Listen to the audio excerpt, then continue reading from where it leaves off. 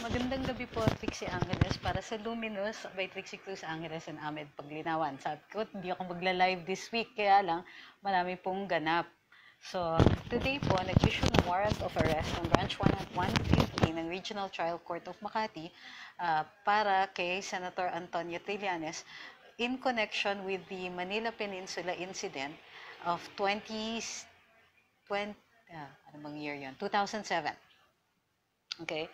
Uh, during that time, kung matatandaan po ninyo, si Senator Trillanes and several others were undergoing trial for the Okud Mutiny in Branch 148 of the Makati Regional Trial Court ay nag-walk out po sa kanilang hearing ay nag-walk out po sa kanilang hearing at tumuloy sa Manila Peninsula where they they uh, they took over the hotel. Naglakad muna sila sa Makati and then they took over the the hotel and made some demands on the Arroyo government. Ay, bakit mahalaga po ito? Well, uh, maraming pa kasi nagtatanong, anong mangyayari? Pwede na ba po siyang arrestuhin in relation to his court-martial? Kasi obviously, nag-file na po siya ng bail. Nag-file siya ng bail because he has already been in fact arrested. Okay, ulitin ko yan ha. Cannot file bail kung wala kang certificate of detention. Ang certificate of detention po, ini-issue yan kapag na-aresto ka na. Now, there are two ways of, making, of uh, being arrested. Isa, intayin mo yung uh, pulis ay dumating sa inyo at dalhin ka sa kulungan or ikaw mismo ay sumurrender at uh, mag-submit po dun sa booking procedures tsaka arrest and detention ng Philippine National Police or any law enforcement agency. So he could have gone to the NBI. Uh, pakisabi po kung malinaw po yung audio ha. Kasi mag adjust tayo. Medyo maingay yung lugar ko. Okay. Uh, ngayon, na maraming nagtatanong, paano na yung court-martial? Bakit hindi po siya inaaresto for the court-martial? Well, in the first place, hindi kayo ina-arrest for court-martial. Nag-i-issue lang po ng order ang chief of staff or pwede siyang mag-delegate to another officer na mag-issue ng order for his detention. Bakit mahal Uh, pero at this time, hindi pa po siya pwede mag-undergo ng court-martial. Kasi na nga, unang-una nangangako ang uh, Armed Forces of the Philippines nangako ang Armed Forces of the Philippines na hindi siya i-detain nang hindi pa nag issue ang warrant of arrest. Ngayon, nag-issue ang warrant of arrest ng uh, Branch 150, pero significant ba ito sa court-martial? Ang sagot dyan, hindi po. Kasi isa lang po ang court-martial ni Senator Sani Trillanes. Uh, Special General Court Martial number 1 was handling the Oakwood Mutiny. Tatlo po kasi ang Special General Courts Martial at the time. SGCM 1, which is the Oakwood Mutiny, SGCM 2, which was the Bonifacio standoff incident. Kung naaalala ninyo, yung mga Marines sa Fort Bonifacio ay nag, ano, nag-declare uh, against uh, President Arroyo at sabi, kailangan, ang gusto lang nila ay malinis na halalan. Ang Special General Court Martial number 3 was for the Manila Pen incident. Ngayon, walang Special General Court Martial number 3 si Senator Trillanes because at the time that he went to Manila Pen, senador na po siya. In other words, civilian na siya at the time that the crime was committed at the time that so hindi siya po na pa sa ilalim sa Special General Court Martial number 3. Therefore, ang may jurisdiction lang kay uh, Senator Trillanes is SGCM1 pertaining to the Oakwood incident. Ang Oakwood incident po ay, pin, ay nililitis ng uh, Makati Regional Trial Court Branch number 148. Okay? So, uh, sa ngayon, even if um, nag-issue ng warrant of arrest ng Branch 150, hindi pa po siya pwedeng i-court-martial kasi hindi naman po yung, yung uh, related. Wala pong court-martial si Senator Trillanes for the Manila Peninsula incident. Intayin natin ngayon, uh, in accordance sa pangako ng AFP na hindi siya i-detain without a warrant, intayin nga natin ngayon yung relevant na warrant which is under branch 148. Okay? So medyo maliwanag yan. May mga nagtatanong, bakit po siya nakapag-bail? Well, rebellion, which is uh, what, kung ano yung nililiti sa branch 150, ay bailable offense po. So, ayun, nakapag-file na po siya, if I'm not mistaken, ng bail uh, placed at 200,000 pesos. Ang hindi po bailable is the coup d'etat charge doon sa branch 148. Kapag lumabas po yung warrant sa kanyang coup d'etat charge, maaari na rin po mag-issue ng order ang AFP para uh, mag-acquire uli, para i-reconvene ng Special General Court Martial number 1 at ilitis uli siya for the crimes, for the mutiny committed during the time that he was lieutenant senior grade in 2003 sa Manila, sa Oakwood Hotel. Uh, so sabi ni Michael Santiago, sorry, medyo maingay ha, uh, yung branch 148 ang hindi available. Oo. Sabi ni Kratz, pwede ba siyang i-death penalty for rebellion? Hindi po death penalty ang rebellion. Bailable nga siya eh. So, hindi po siya capital punishment. Hindi siya reclusion perpetua. It's most likely uh, below 20 years. So, about 12 to 20 years ang kanyang ano. So, doon sa mga nagtatanong kung kailan mag issue ang Branch 148 ng warrant, wala po tayong bolang kristal. So, it will really depend on the judge kung kailan po siya matapos maggawa ng kanyang order. Uh, sabi ni Jerry Bercasio, bakit hindi siya pinosas? Because he was the one who went to the police station. Siya po ay, uh, effectively, this is a surrender. So, pumunta siya sa police station at doon in-effect yung kanyang arrest. So, there was no need to take him forcibly because he did not pose any danger to the people around him or any risk of flight. So, ginagawa lang po yun. Uh, kapag yung pagpuposas po ay pagka may risk of flight at may risk of endangering the people around him. Uh, sabi ni Vladimir, is covered by the subjudice rule now that he has been arrested and posted bail? Uh, most likely, yes, uh, he will be. Uh, however, tandaan ninyo, if uh, magawa siya ng speech, privilege speech, o kaya magsalita siya during a Senate investigation, in the course of his duties as a senator, wala po siyang liability for that. So, uh, abangan din po natin yung mga yan. Let's see. Uh, ano po daw ang iniintay? Sabi ni John, Mata, ano po bang iniintay ng Branch 40, 148? Bago mag-issue ng warrant of arrest, wala po silang iniintay. Nagpadala na po, nagsagutan na yung dalawang parties, uh, nag-file ng motion yung DOJ, sinagot ni Senator Trillanes, sumagot ang DOJ, at saka nakapag-rejoinder na po si Senator Trillanes. So, submitted na po siya for resolution. Ang iniintay po natin ay yung resolution nga, yung findings ng ating hukuman dun sa Branch 148, dun sa decision ng, ng judge, kung maaari mag-issue ng warrant of arrest. Uh, sabi ni Proggy, gusto po pa ipatupad ang death penalty. Well, dun sa rebellion, hindi po nga kasi death penalty. And reclusion perpetua po ang hatol dun sa branch 148 if ever he's found guilty of coup d'etat. Ngayon, ang medyo tricky dyan is yung death by musketry na penalty para dun sa charge ng mutiny sa court martial. Uh, hindi po ito na-affect kasi dun sa law that uh, repealed the death penalty law because iba po ang uh, ang articles of war. Hindi po na amendahan ito. Kahit po na amendahan na po ang death penalty law natin. It is not likely however given yung panahon ngayon hindi kasi giyera ngayon eh. So usually yung mga matataas na penalties ay nire-reserba para dun sa mga sundalo na lumalabag sa articles of war during times of national conflict or war. Kasi delikado eh.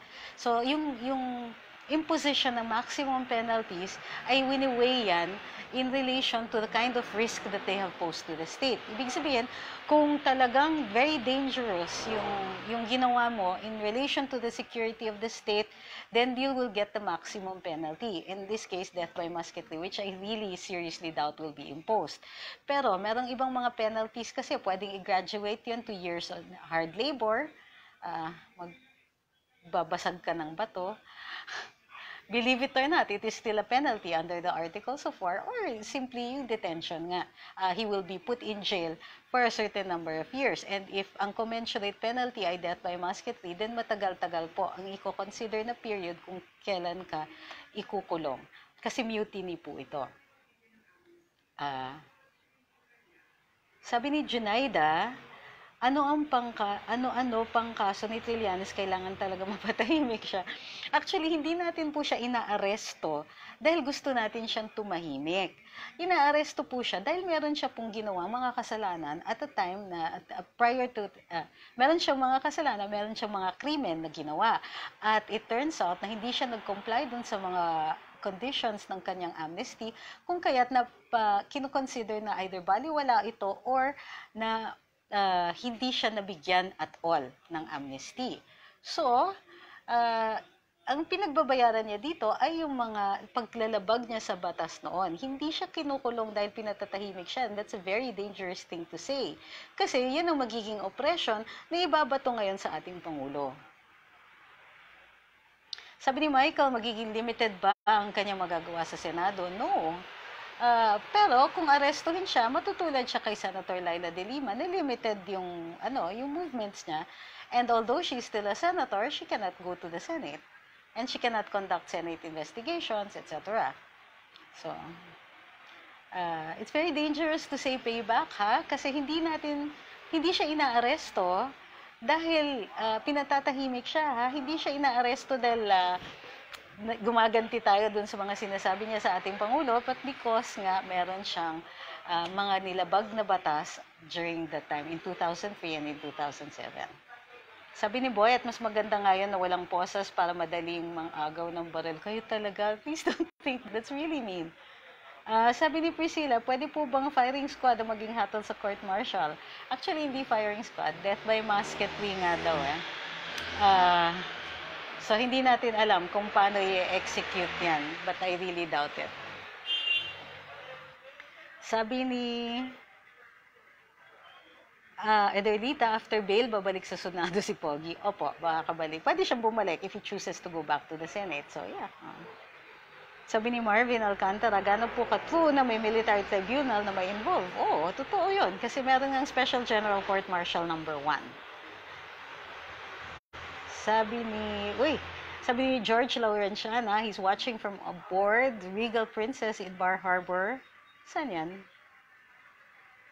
ME uh, USA. Sabi ni Alma, always take care kasi follower daw siya. Ito ah, uh, Why does GMA Network have no comment to prove branch 150 of the amnesty? Actually, wala kasi sa lugar mag-comment ang, ang, ang media because they're just supposed to be reporting what happens. Uh, sabi ni Marvin, gaano po katotoo? Ay, yun. Danilo Velez says, capital offense, punishable by reclusion perpetua and evidence of guilt is strong. So, dapat wala pong bail, di ba? Doon po sa, ano, uh, of course, you can only talk about bail when you're talking about the regional trial court. So, hindi po kasi bailable nga ang, ano, ang kudeta. So, uh, yun yung presumption na hindi siya bailable. Ngayon, kung gusto niya pong mag-bail, kailangan patunayan niya na the evidence of guilt is not strong. Pero, of course, kung mag-issue ng warrant ang branch 148, then by it will follow that the AFP will also issue an order for his detention. So, magiging moot yung issue ng bail. Uh, hindi rin siya makakapag-apply ng bail sa branch 148 even if uh, evidence of guilt is not strong kasi hindi rin bailable, hindi rin siya palalabasin ng AFP. Uh, sabi ni Tani Encarnacion, what if branch 148 does not issue a warrant? What will happen? Then ililitis lang siya sa branch 150. And in all likelihood, the DOJ will go to the Supreme Court or participate in the Supreme Court doon ngayon sa issue on whether or not proclamation uh, that was issued by President Duterte revoking the amnesty of Senator Trillanes is considered uh, constitutional. So doon po yung magte-turn yung ano, yung issue ng ano ng whether or not uh, tama ang Regional Trial Court Branch 148 later on. Oh my gosh, my face is oily. Mm. Ano to?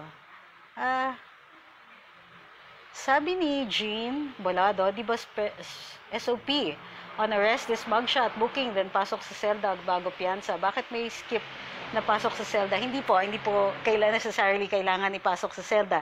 Uh, basta na-detain ka, and it that doesn't necessarily mean you're behind bars. Ang importante po dito kasi is makapag-issue ng certificate of detention ang PNP dahil isasama mo yon dun sa ano sa do- documents na isa-submit dun sa branch ng sa Makati Regional Trial Court to show that you are ano allowed that you uh, have complied with all the requisites of bail. So may mga kailangan yan para sa bail, especially kung bail bond. Pero even if you present a cash bail, then kailangan mo at the very least your certificate of detention. Mm. Sabi ni Henry Betuy, may, may nangungulit na aso sa akin. Sabi ni Henry Bituing, dapat nakahalata si Trillanes, nilalaro na lang siya. Sayang lang piyansa niya. Una, pag nagpalabas ng warrant, pero may, hi, say hi, say hi. Okay. Una, nagpalabas ng warrant, pero may bail. Naglabas ng pera para mag-bail, kaso may kudeta pa, lumalabas ang warrant. Di, pag lumabas ang warrant nun, hindi na papasok Ah, tama. Tama ka doon. Pag lumabas naman ang warrant ng branch 148, eh hindi na available po yon. So, tama kayo. Nag-bail siya, pero his provisional liberty is only for so long as hindi pa nag issue ng warrant ang branch 148. And remember, yung court martial po ay nakasandal dun sa kaso sa branch 48 and branch 48 alone. Uh, hindi siya po na court martial doon sa Manila Pen incident. Posible ba, sabi ni Romeo, na magkaiba ang maging decision ng judge sa branch 148 and branch 150? Oh, it's possible. Magkaibang court yun eh, at magkaibang ano. Although, they're decide, making a decision based on the same documents. Sabi ni Jess, dapat sa Friday evening yung arrest para Sunday, Saturday, Sunday sa jail siya at Monday na siya makapag-bail. Actually, bawal po yon. Bawal po yung aresto with a warrant kapag weekend at saka it is not possible to file bail. May ganun talaga. Bawal po yan. Okay. Sabi ni Arturo Layog, in 6 to 7 months, his term as senator will be over. We'll have no more power. Well, yeah. Sabi ni Jayum, bakit po ang bilis ng proseso ng pag-bail ni Trillanes kapag ordinaryong tao, hindi po ganun kabilis? Uh, it depends kasi. Unang-una, kaya mabilis para sa kanya, cash ang binabayad niya. So, yung iba sa atin kasi, pagka property bond, naku, ang daming documents na kailangan. So, sometimes it takes to, up to even a week. Kasi maghahanap ka pa ng titulo, maghahanap ka pa ng, na, ng o kaya ng guarantor, uh, o kaya you magsasubmit ka ng things like your address, sketches, etc. Ang dami-daming requirements. Pero kung cash bond, usually certificate of detention lang ang requirement na kailangan. At saka yung warrant. Sabi ni Nuboy, uh, salute you for giving concise and straightforward answers. I thank you po. Sabi ni Rose, if uh, Trillanes is issued the warrant of arrest, will he be under court-martial? Hindi po. There are three cases. Uh, the first case is the uh, coup d'etat case for the Manila uh, for the Oakwood incident filed in branch 148. And then the second case is Special General Court Martial number 1 where he has four charges, mutiny, conduct and becoming an officer and a gentleman, disrespect to the president and disrespect to the legitimate orders of the president. Uh, so, and then there's a third case, the Manila Peninsula Rebellion case, which is filed in Branch 150, which now issued the warrant of arrest for him. So, yung court martial po is only hinged on the on the on whether or not Branch 148 is going to issue a warrant. Uh, sabi ni Leilani, why po rebellion lang? Paano na po yung case ng treason and kudeta? Wala po siyang case ng treason. Uh, tatandaan po ninyo, dun sa mga followers kasi dun sa page, I always repeat this, there is no treason kung wala pong giyera. It's a wartime crime. So wala pong case siya ng treason. Uh, sabi ni Robert, at last, na-champuan niya yung live ko. Nasa Saudi siya. Okay, yung mga ibang mga tanong ninyo paulit-ulit na. So, this is what I'll do. Mag-recap tayo. Okay. Senator Trillanes has three, three pending, three, jurisdic, three jurisdictions ang, ah, three courts ang may jurisdiction kay Senator Trillanes. I apologize. Grabe. Okay, Branch 148 of the Regional Trial Court of Makati where he, where he is charged with coup d'etat, non-bailable offense. Uh, charge number two is the four charges filed before the Special General Court Martial number one, and then uh, branch 150 for the rebellion case. Uh, the rebellion case was where the warrant of arrest was issued today under branch 150, for which he is either filing for bail or has filed for bail uh, today. So he will be released as soon as the bail is accepted by the court. Uh, bakit po siya hindi pa ina-arrest ng court martial? Because he, the Special General Court Martial number 1 pertains only to the Oakwood incident. So, they will wait for, in, in accordance with what the AFP announced or manifested, nag-manifest po kasi ang AFP na hindi sila mag, uh, mag-issue ng order to detain Senator Trillanes until a warrant of arrest has been issued. Ngayon, yung warrant of arrest doon sa branch number 150 is irrelevant to Senator Trillanes kasi he's not undergoing court-martial for the Manila Peninsula case. He's only undergoing court-martial for the Oakwood mutiny, which is being, uh, which the the civilian counterpart or the, the case under the revised penal code is being uh, litigated in branch 148. Okay? Okay na, na-recap na natin, na, wag na natin ulitin yung ibang mga tanong. Okay, sabi ni June Anat, bakit tuwing natatalo ang kabilang parlor, laging na, sinisigaw nila ay patay ng demokrasya? it's it's uh, it's propaganda. Wag, wag na kayong magalit. Alam naman natin na they were going to spin this in a way that will benefit their cause. So, I-expect na natin na may sasabihin talaga silang ano, ah, kakaiba or hindi kapareho natin.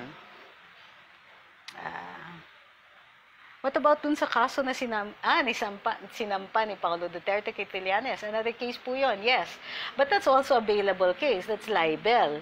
Ah, so, ah, ongoing pa yon. Right now, nasa tinatawag natin na preliminary investigation stage. Yung stage na po yun ay dinedetermine kung may probable cause. Ang probable cause po yun ay dinedetermine ng prosecutor, tinitignan niya if a crime has probably been committed or and if the accused or the, the respondent probably was the one who committed it. Kung meron ganon, masasampa na yun sa court at doon i-arraign na siya. Or mag issue ng warrant of arrest yung court, papapuntahin siya, i-arraign siya, or he can file for bail before that. Ah, sabi ni Mario Pablo, sana ang turning point ng kwentong ito, bigyan ng amnesty si Trillanes ng ating Pangulo after all of your enemy. Ah, totoo yan because only the President, President Duterte now can give him amnesty. Sabi ni Armin, bakit lagi namamatay ang demokrasya? Kayo talaga. Ah, sabi ni Santiago, ano po ba magiging epekto sa Dilawan kapag nakulong siya ng tuluyan? I really don't know, but they are going, they're certainly going to try to spin this. Okay, wala na bang ibang mga bagong tanong? Kasi di-discuss din po natin ito bukas sa Karambola and most probably with better input from my co-hosts. Ah, sabi ni Konkon, pwede ba siya kasuhan natin lahat? Oh, sure, if he commits a crime. If Trillanes, sabi ni Els Marie Villanueva, if Trillanes kept his mouth shut, the president would have ignored this case. Well, I don't like to think that, you know why? Because it puts the blame on the president. It makes it look like the president was machinating to put him back in jail. Rather than, ano, rather than Senator Trillanes, well, in a way, tama ka rin pala. Senator Trillanes called attention to himself, tuloy nakalkal yung kanyang amnesty, is another version.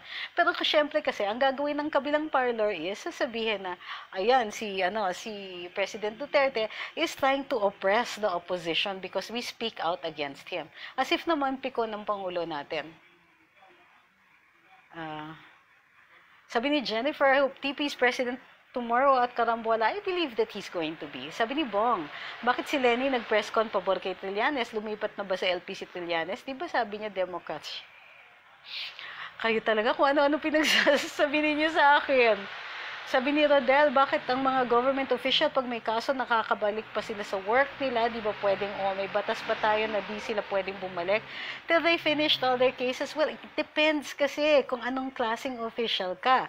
Kung ikaw ay uh, member of the legislature, at ang ano ang uh, isinampang kaso sa iyo punishable by 6 years or less then hindi ka kasi iaaresto at the time when go, when uh, the Senate or the House is in session. So mukha lang talagang bumabalik sila unless uh, tapos if it is bailable all they have to do is bail and go back to work. Kasi in the case of the legislature matatanggal lang kayo for an ethics case and uh, only by a jury of your peers. Oh my gosh my face is really oily Okay. So, yun. Eh, ang nakikita natin, there's certain legislators talaga na hindi, eh, hindi talaga sila na natatanggal sa pwesto by virtue of a crime that they could have committed.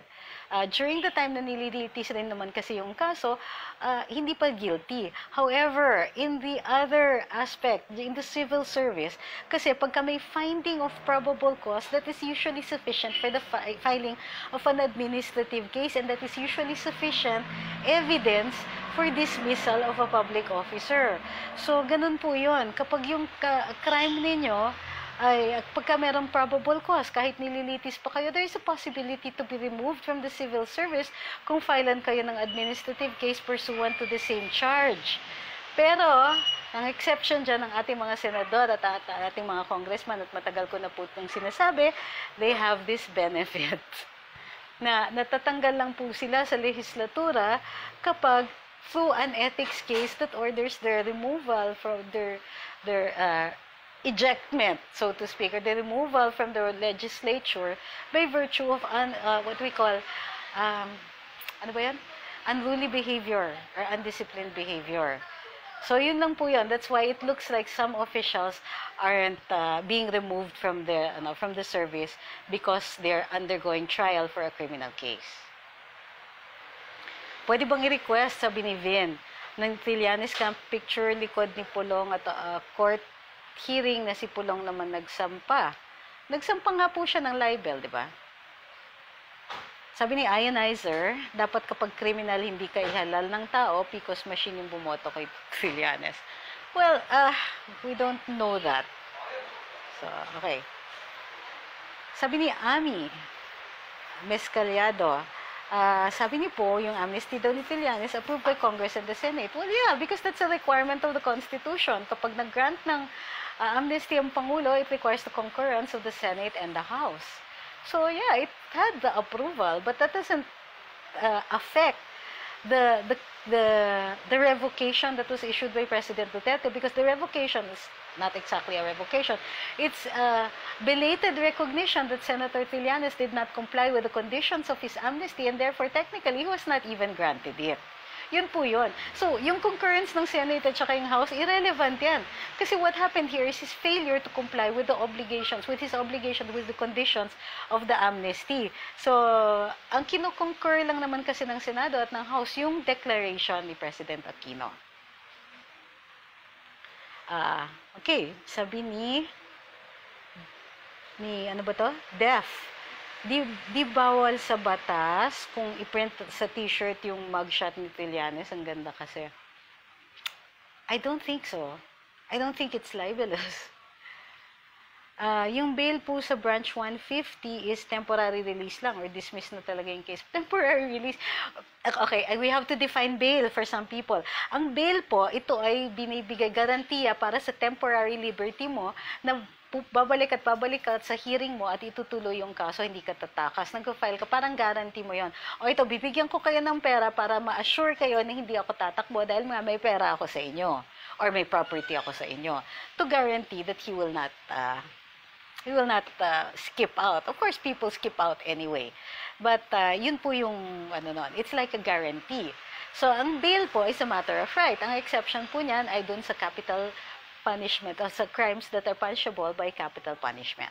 So, reclusion perpetua to death, even if wala ng death penalty. So, it's only for temporary liberty. Kapag nahatulan ka ng guilt, then you will go to jail. You can also file uh, what we call bail pending appeal kapag inapila mo yung kaso. And uh, po- posible mag-grant din po yon. Once you're convicted, pasok ka na po kayo sa, sa kulungan. Uh, Yeah, sabi ni Jason, sabi niya, I saw a comment, walang court martial pertaining to Manila Pen. Ako po yung naggawa nun. Uh, walang court martial pertaining to Manila Pen, senador na siya noon. His only court martial is for Oakwood, so the only warrant that counts is for the AFP is the one issued by Branch 148. Yung comment po na nakita mo na yon, akin yon. Uh, sil, uh, sabi ni Renz, bakit bumalik sa Senate Hotel?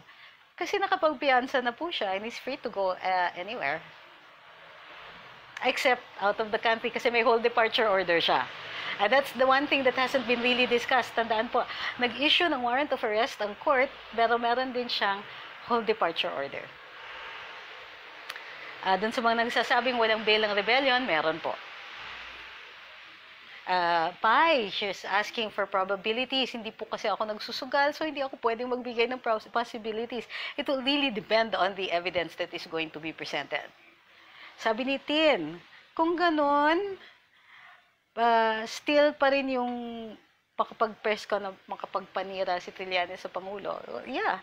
Um, don't act surprised kasi hindi naman yung purpose dito ay patahimikin si Senator Trillanes. You're playing into the yellow game. Uh, sorry.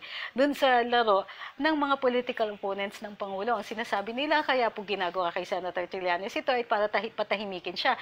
So, wag din po natin sasabihin yan because it is not true. The reason we're, they're doing this is because he has not complied with the conditions of his amnesty. Oh, eh, tapos may mga labag siya sa ginawa na labag sa batas. So, he is going to go to trial again. Hindi natin sinasabi na makukulong siya for for for uh, in in the case of the coup d'etat uh, reclusion perpetua. But what we're saying is he's going to go through trial because he did not comply with the conditions of his amnesty. The president is not doing this to make him shut up. What happened was he called the attention of everybody. Nakalkal tuloy yung amnesty niya. But are they doing this to shut him up? I don't think there's any way we can shut him up. Look at Laila de Lima. From jail, she's still writing letters. So, please don't fall into the trap of saying that because it's as though we're admitting that we're trying to suppress Senator Trillanes' freedom to do whatever, to dissent. And everybody is allowed to dissent. Yun lang nga, not everybody who dissents is as irritating as he is to many people. Uh, sabi ni Essie, okay lang ba na mag-celebrate na kami o masyado po maaga? Hintayin natin yung warrant ng 148 because that makes the difference.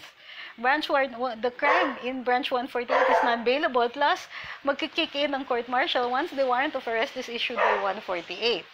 So, ayun yun. Uh, sabi ni Chan, I'm so happy today nakanood ako ng live. Nasa Turkey siya. Sabi ni Irish, he's just facing the consequences of his criminal actions before. Yes. Ano yung sinasabi natin? People in glass houses should not throw stones. Kung may vulnerabilities ka, you be careful when you attack somebody else.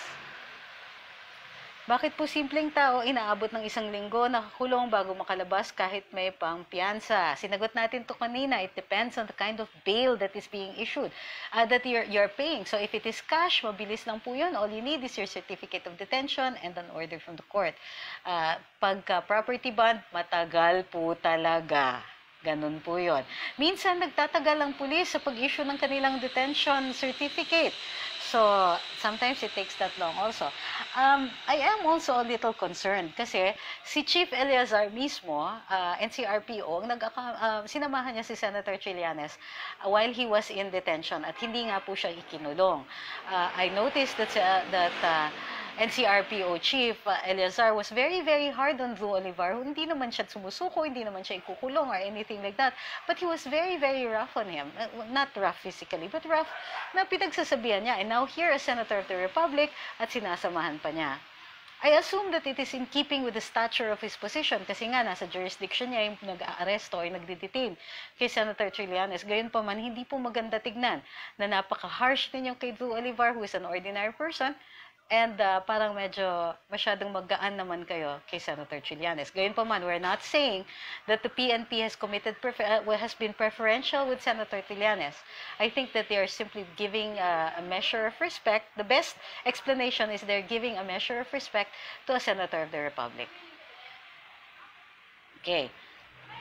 Uh, ano pa? Mga umuulit na ibang mga tanong. So, ang init, ano?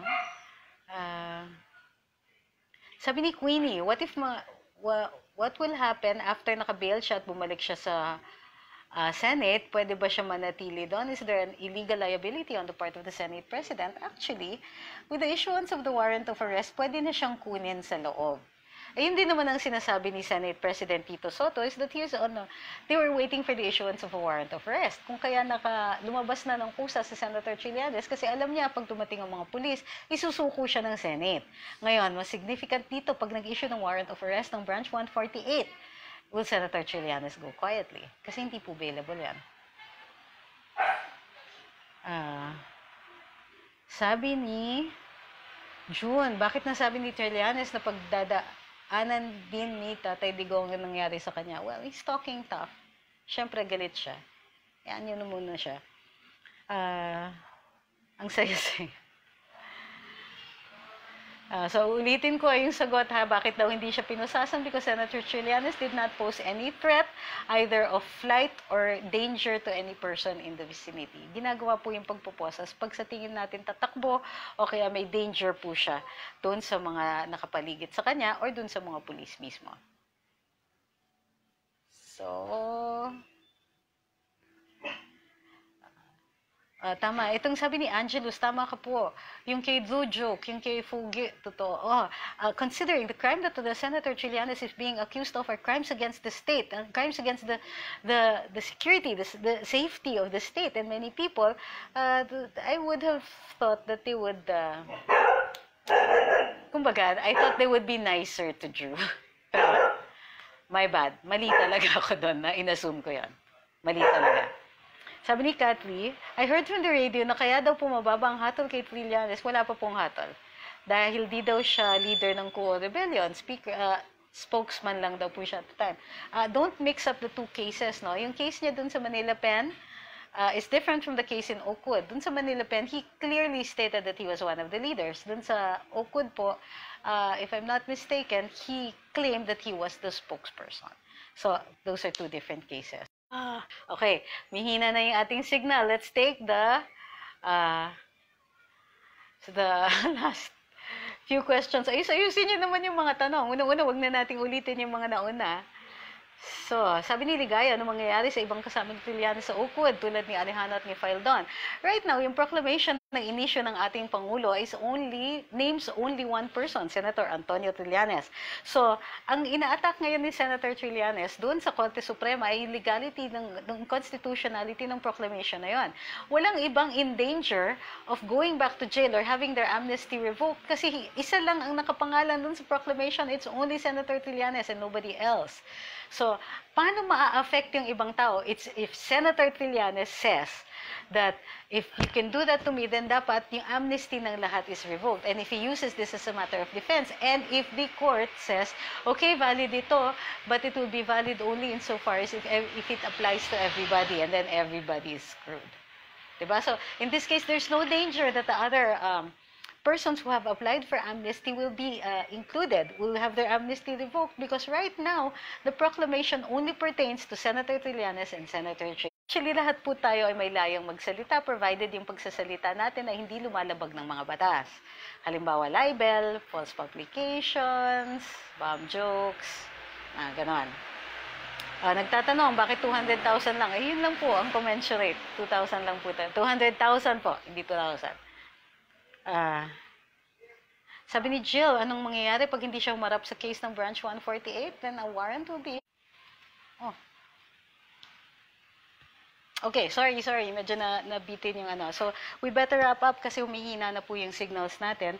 Ulitin po natin ang um, yung sa last question. Uh, paano po yung court martial? Wala naman po mangyayari dun sa ano. Wala naman pong danger na mo dismiss yun sa court martial. Okay? Maraming salamat po dun sa pagtangkilik dito sa mga Facebook Live ng Luminous by Trixie Cruz Angeles and Ahmed Paglinawan. Meron po tayong karambola bukas ng umaga, 8 to 10 a.m. sa DWIZ 882.